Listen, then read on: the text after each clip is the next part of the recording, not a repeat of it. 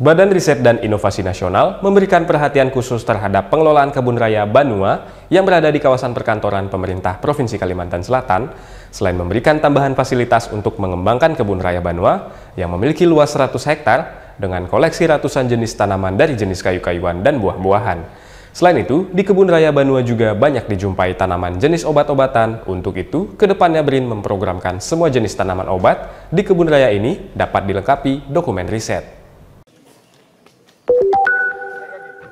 Badan Riset dan Inovasi Nasional BRIN memberikan perhatian khusus terhadap pengelolaan kawasan Kebun Raya Banua atau Banua Botanical Garden yang berada di kawasan perkantoran pemerintah Provinsi Kalimantan Selatan di Banjarbaru.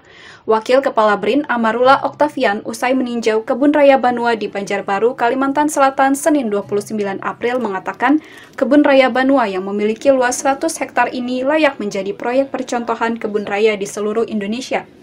Selain memiliki koleksi ratusan macam tanaman dari jenis kayu-kayuan dan buah-buah dari berbagai daerah di Indonesia, di Kebun Raya Banua juga terdapat tanaman langka pegunungan meratus dari jenis obat-obatan seperti pasak bumi, akar bajakah, saluang bilum, dan lainnya.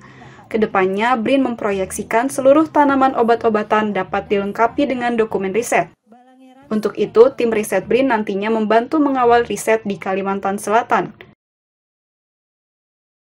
ya jadi kita tidak bisa mengklaim uh, ini dari testimoni ya dari masyarakat yang pernah merasakan enggak enak seger pasak bumi tapi kita harus tambahkan dukungan itu kepercayaan kepada dunia internasional bahwa itu hasil riset. Benar kata Pak Wakabrin, eh, bahkan pasak bumi yang sudah menjadi eh, produk jualan komersil ternyata belum ada risetnya tentang khasiatnya itu. Sedangkan kita karena kita berbasiskan penelitian, kita harus mengklaimnya dengan riset. Tentu kami akan sambut itu. BRIN menilai keberadaan kebun raya Banua hingga saat ini telah dirasakan manfaatnya oleh masyarakat. Untuk itu, BRIN mengagendakan peningkatan kualitas kebun raya Banua agar berstandar internasional dengan menambah fasilitas berupa sistem kontrol dengan kecerdasan buatan, mulai pengairan hingga pemupukan, agar tanaman tetap terjaga kesuburan juga kelestariannya.